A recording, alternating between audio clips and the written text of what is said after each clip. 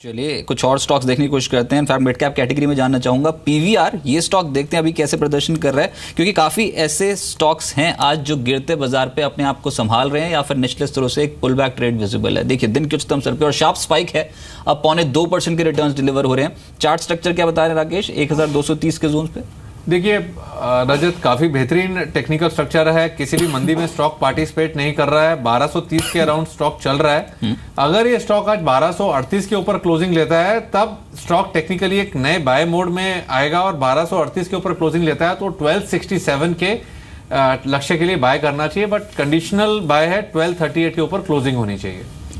जी इस बीच चलिए देख लेते हैं। आज संकेत जिस तरह के हैं आई थिंक थोड़ा कंसर्न रहेगा मार्केट के लिए क्योंकि अगर ये 8400 के नीचे क्लोज हो गया अगला हफ़्ता इतना वॉलेटाइल रहने वाला है मार्केट के लिए कि जिसमें मार्केट को दिक्कत होगी फिर अपनी जो स्ट्रैटेजी है उसे डिसाइड करने में। Look at the advance decline ये इतना ख़राब है हम्म। कि ऑलमोस्ट आप देखिए जो एक बढ़ने वाला काउंटर है उसके सामने करीब करीब दस काउंटर ऐसे हैं जो गिरावट के साथ। इस समय ट्रेड करते हुए।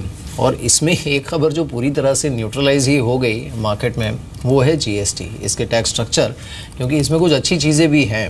लेकिन उसके बावजूद उसके बावजूद अगर आप देखें मार्केट ने कोई ख़ास तवज्जो दिया नहीं इसको सुबह खुलने के बाद भी हमारे साथ मिस्टर बी जयराजन मौजूद हैं फ्रॉम ब्लू स्टार उनसे बात करते हैं। Sir thanks for joining us and you know the first and the foremost is obviously the GST What's your take, uh, Mr. Tyagarajan, uh, on the slabs that we have seen yesterday evening on GST?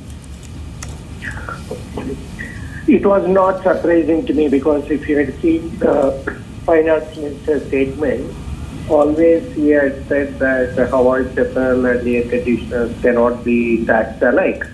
So air conditioners were supposed to be taxed at a higher rate. That was always known. But what is surprising is this 26 becoming 28. Hmm. And uh, so to that extent, there is a disappointment, uh, number one. Number two is for a long time the industry asked them, please do inverters as well as uh, the five-star air conditioners uh, at a very lower rate. Uh, so even now, uh, we would be grateful if the government can consider five-star and inverter air conditioners at a 5% uh, slab because uh, that saves a lot of energy and that is going to make the industry grow. If we want to make in India, if uh, the industry has to become globally competitive, it is very important that the consumption is also grown. The Indian market has to grow. Now, lastly, uh, while air conditioner is seen as a luxury item uh, uh, by many even today, the fact of the matter is it improves productivity, and uh, places like educational institutions, nursing home, hospitals, they all uh, need air conditioning. If a coffee shop uh, or a bar or a restaurant or a cinema theatre is air mm-hmm. conditioned, why not schools and hospitals? So, so, therefore, under GST, if these segments can be exempted from or they are kept at a lower rate, it will be useful. Sir, can you quantify at this point in time what will the impact on PNL uh, because of this GST slab which will be imposed on uh, air conditioner manufacturers? I, I, I think around uh, three and a half percent will be additional burden compared with, uh, you know, assuming that it is 28.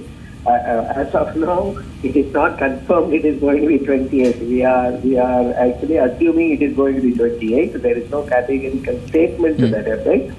If it is going to be 28, 3.5% will be the additional burden. But as far as Blue Star is concerned, we, you know we are investing in Jammu for manufacturing unit. Mm. The Jammu uh, provides uh, the concession for the central GST, uh, repayment based on the value addition. Mm. So we will be able to mitigate uh, uh, substantially the burden. That okay. is my assessment at this point of the time. Right thanks sir thanks for joining us on this issue तो GST पे hmm. कहना यही है कि ए सी manufacture के लिए क्योंकि high and products है तो कहना कि जो स्लैब है ये थोड़ा ज़्यादा है लेकिन ओवरऑल इस पर इम्पैक्ट ज़रूर पड़ेगा बॉटम लाइन पे। अब देखना होगा कंपनियाँ के नेगेट करती हैं ये कि नहीं। दाम बढ़ा के वो एक बड़ा सवाल है कि कंपनी आप गोइंग फॉरवर्ड कंज्यूमर डिमांड के चलते क्या दाम बढ़ाती हैं कि नहीं? जी हाँ बिल्कुल। इस बीच शर्मिला जोशी हमारे साथ जुड़े हैं और साथ ही राजेश भी हमारे साथ इस समय मौजूद हैं। कोलकाता से राकेश तो है ही हमारे साथ स्टूडियो में। शुक्रिया आप सबका। तो Sharmila what's your take on markets now you know clearly आप आज भी देखिए जो इंटरनेशनल क्यूज हैं they are clearly weighing on the markets US में डाउ फ्यूचर्स नेगेटिव है यूरोप पूरा नेगेटिव है इंडियन मार्केट्स हैव स्लिप्ड तो आई थिंक अगले हफ़्ते के लिए भी one should be prepared for red screen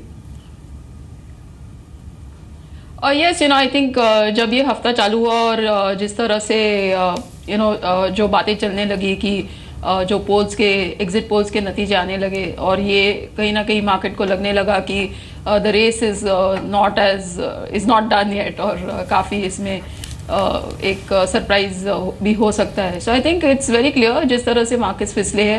And as you pointed out not just in the domestic context लेकिन एक इंटरनेशनली अगर भी हम देखें तो कहीं भी आई थिंक कोई भी मार्केट ने ये फैक्टर इन नहीं किया था कि शायद that Trump would win the election so in that sense I think the market mandate seems to be quite clear. So we'll need to wait to uh, wait for the nine to uh, uh, get a clear picture or ये चीज़ will be sorted once and for all on the ninth और मेरे हिसाब से क्योंकि अभी market already इतने गिरे हैं काफ़ी हद तक I think the negative is now in the price तो उस हिसाब से I think that I would think that now in that sense the election outcome hopefully उसका कुछ ज़्यादा इम्पैक्ट नहीं होगा even if the election goes in favor of uh, Trump, which the market seems to be uh, building into uh, the price at this at the moment.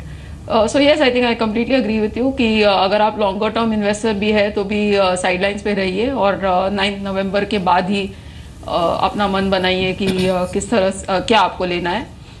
I think it's a market on dip still लेकिन क्योंकि ऐसे अब लग लग रहा है कि शायद आपको लोअर लेवल्स मिल सकते हैं।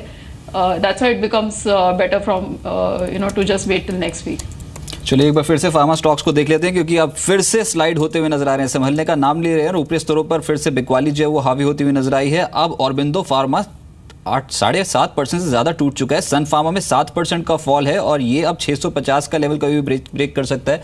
डॉक्टर रेड्डीज दिन के निचले सर पे यहाँ पर भी पाँच परसेंट से ज़्यादा का फॉल देखने को मिल रहा है। तो सभी pharma stocks STRIDE Shasun Cipla ये सभी स्टॉक्स दिन के निचले स्तर पर कामकाज कर रहे हैं। राजेश, आपके कमेंट्स ये जो आज फार्मा स्टॉक्स पर बिकवाली देखने को मिल रही है सर और ये एक डिफेंसिव बैंक के तौर पर उभरता था, बहुत स्ट्रांगली पोजिशन बिल्डअप किए इंस्टीट्यूशन ने इन स्टॉक्स में, अब बिकवाली है आम निवेशक क्या करें?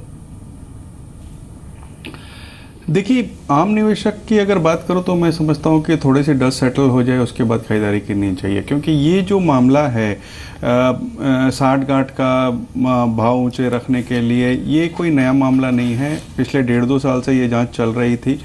अब चूँकि इलेक्शन का माहौल है, इसलिए ये मामला गरमाया हुआ है।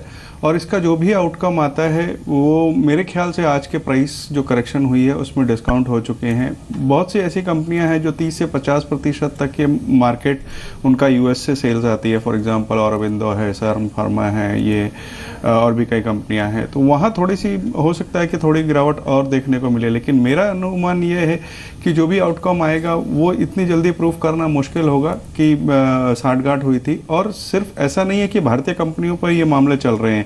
ये विश्व भर की कंपनियों पर चल रहे हैं और ये गिरावट एक अच्छा मौका दे रही है एक्यूमुलेट करने की। मैं समझता हूँ लुपिन में इस वक्त खरीदारी करनी चाहिए। शॉर्ट टर्म ट्रेडिंग का नज़रिया हो, तेरह सौ पचहत्तर रुपए का स्टॉप लॉस रखें, अन्यथा लंबी अवधि के लिए बिल्कुल एक्यूमुलेट करें स्टॉक को।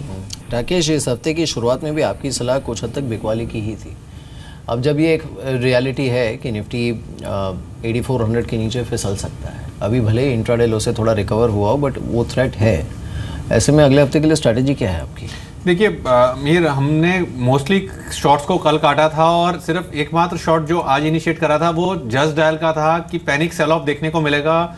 8400 या 8400 के नीचे निफ्टी फिसलने का पोटेंशियल रखता है बट मेरा ऐसा मानना है मीर यहाँ पर शॉर्ट जो पोजीशंस बनाई हैं, वहाँ पर मुनाफा बाँध के साइड में होकर बैठना चाहिए। मार्केट ओवरसोल्ड है और अगले वीक मीर काफ़ी वोलाटिलिटी रहेगी। अगर कोई भी शार्प पुल बैक आएगा तो काफ़ी दिक्कत देखने को मिल सकती है।